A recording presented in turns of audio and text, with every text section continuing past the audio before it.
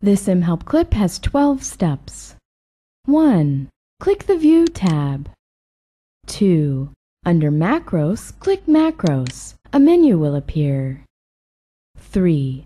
Click View Macros. A dialog box will appear. 4. Under Macro Name, type a name for the macro. 5. Click Create. A window will appear. 6. Type the code shown in the mHelp window or copy and paste the code from the mHelp window to the Macros window. 7. Close the window when finished. 8. Click the View tab. 9.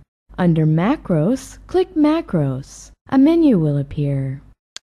10. Click View Macros. A dialog box will appear. 11. Click the macro that was created. 12.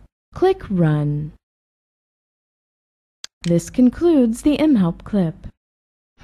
At Office Help on Tap, we have over 4,000 clips to help you master any Microsoft Office problem in record time. If you visit officehelpontap.com now, you can get your full library of help videos for Microsoft Office, Internet Explorer, and Media Player totally free. This is a limited time offer, so please visit Office Help on Tap to claim your free videos now.